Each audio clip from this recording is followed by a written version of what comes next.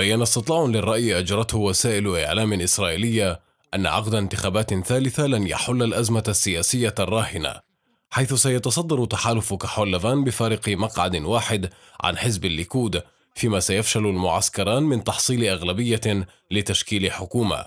وجاء ذلك بالتزامن مع إعلان الرئيس الإسرائيلي روفن ريفلين أنه كلف جانتس رسميا بمهمة تشكيل الحكومة عقب فشل رئيس الوزراء الإسرائيلي المنتهية ولايته بنيامين نتنياهو في تشكيل ائتلاف حكومي للمرة الثانية.